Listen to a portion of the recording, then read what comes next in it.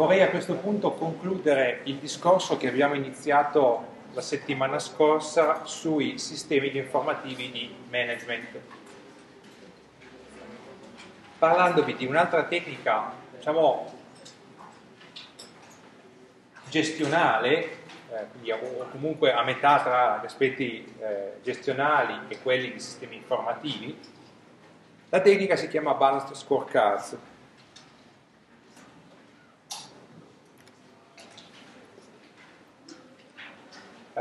L'idea è che eh, nel momento in cui io devo gestire un'azienda, soprattutto da un punto di vista strategico, quindi non sto parlando dei, dei middle manager, ma sto parlando eh, del, del, livello strategico, eh, osservare soltanto gli aspetti finanziari è limitativo.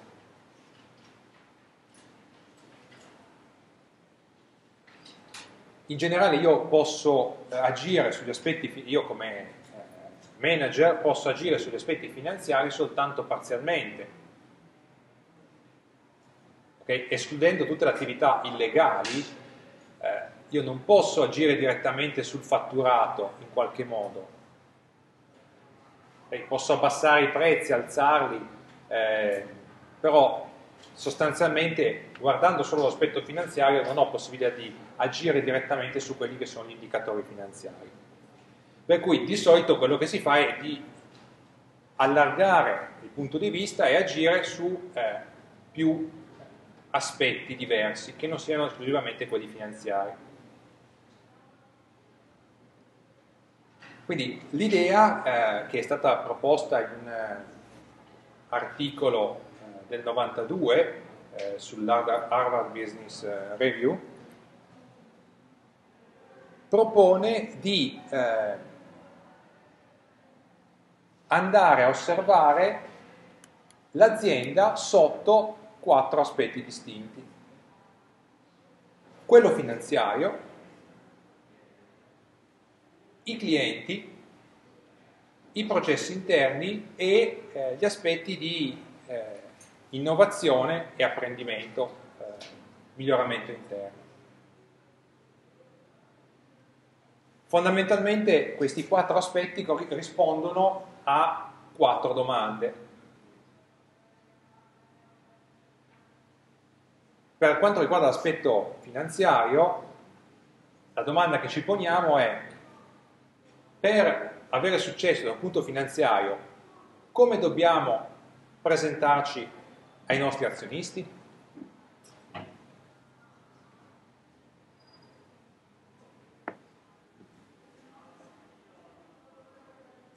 La risposta potrebbe essere aumentando i dividendi.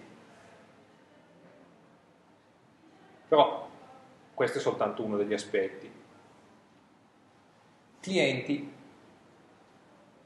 Per raggiungere quella che è la nostra vision, la nostra prospettiva di, di aziendale, come dobbiamo presentarci eh, nei confronti dei nostri clienti.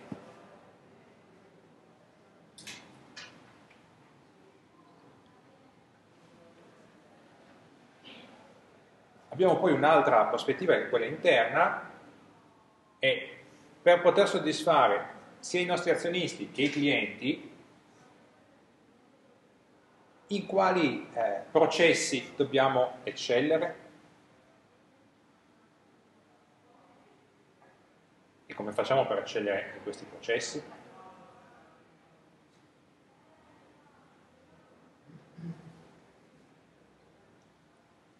Il quarto aspetto riguarda l'innovazione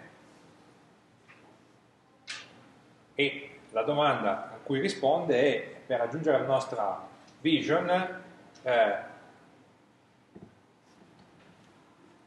come eh, riusciamo nella nostra azienda a cambiare, migliorare le nostre attività.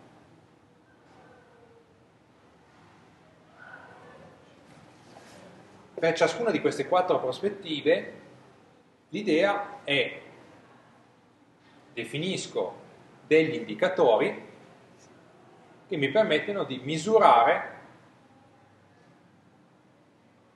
che cosa succede? Quindi, per ognuna di queste prospettive io avrò dei, degli obiettivi di tipo finanziario, eh, di relazione verso il cliente, di, eh, da un punto di vista di processi interni, da un punto di vista di innovazione. A fronte di questi obiettivi andrò a definire degli indicatori.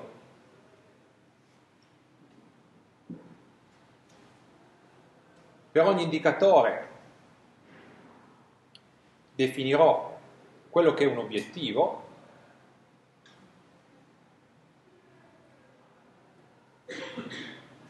l'indice di eh, soddisfazione dei clienti deve essere al 90%.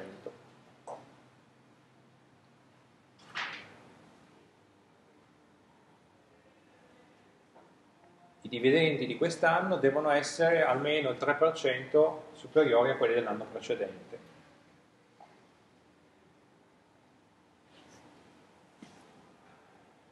E dato un obiettivo, un indicatore,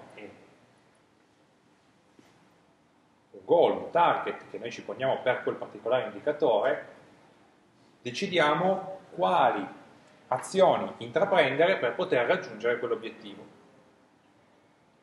Ecco, qui sta l'aspetto di pianificazione strategica.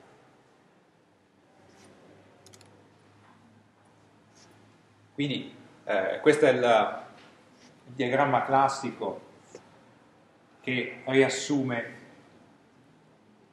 l'approccio delle balance scorecards. Quindi ho una visione ampia che riguarda diverse, quattro diverse prospettive, per ogni prospettiva ho degli obiettivi che io voglio raggiungere e per raggiungere quegli obiettivi ho, devo raggiungere un certo punteggio rispetto agli indicatori o misure che definisco per questi obiettivi.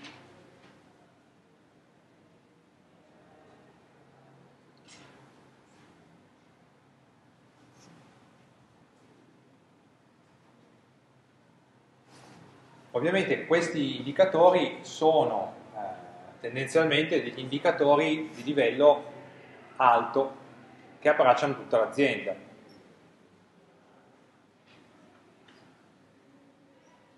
Okay? Un middle manager difficilmente si occupa a tutto tondo di questi diversi aspetti. Normalmente questa è un'occupazione uh, eh, dei manager di alto livello che fanno all'appunto pianificazione strategica. Esempi di indicatori eh, che possono essere utilizzati eh, per un approccio di questo tipo sono ad esempio per quanto riguarda eh, gli aspetti finanziari, il flusso di cassa, il ritorno sull'investimento, i risultati finanziari, il ritorno sul capitale, eh, il ritorno on equity. Eh, per quanto riguarda eh, i customer abbiamo la customer satisfaction, quindi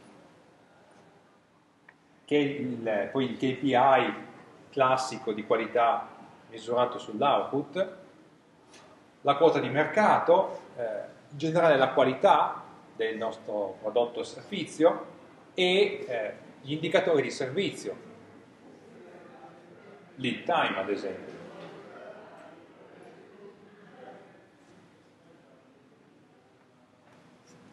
Se andiamo a vedere altri due, eh, le altre due prospettive dell'approccio balance scorecard, eh, tra gli aspetti interni eh, abbiamo beh, il numero di attività che vengono svolte, eh, opportunity success ratio, eh, rate, eh, l'accident, ratio, manufacturing indicator, classici in funzione dei processi che eh, utilizziamo, quindi carico di lavoro, la disponibilità del, del servizio, la qualità del, del, del servizio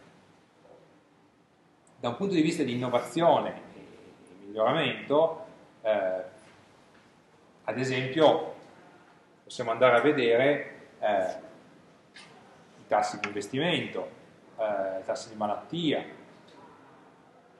eh, la percentuale di promozioni interne, il ricambio degli impiegati, eh, il rapporto tra i generi nel, nell'azienda.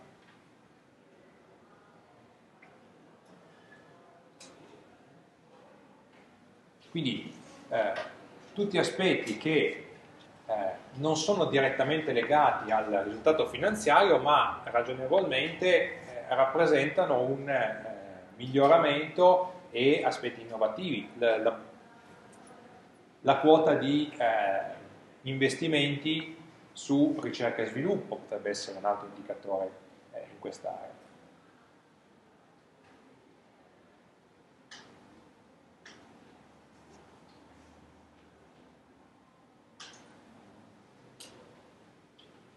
Quindi eh, l'idea è che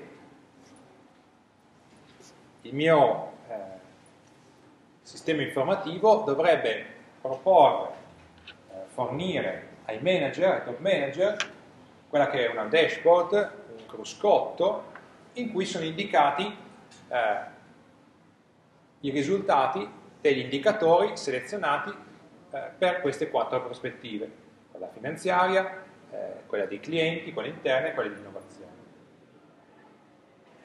Lì dentro io vorrei vedere degli indicatori eh, che mi dicono come sta andando la mia azienda, eh, se sono vicino o lontano dal raggiungimento degli obiettivi che mi ero prefissato, per ciascuno degli indicatori, per capire eh, eventualmente quali azioni eh, intraprendere per correggere la tendenza se non è quella che mi aspetto.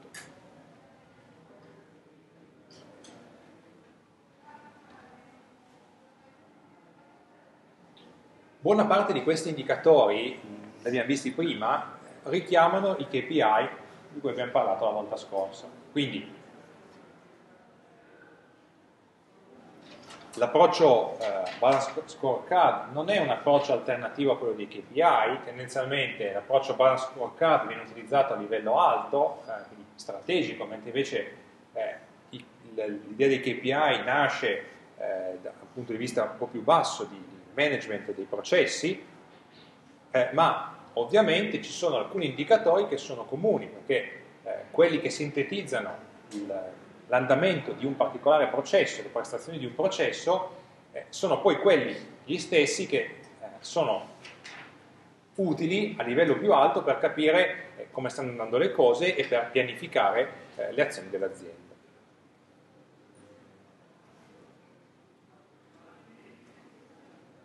Quindi il punto chiave di tutto ciò è riuscire a identificare e definire quelli che sono gli indicatori più utili.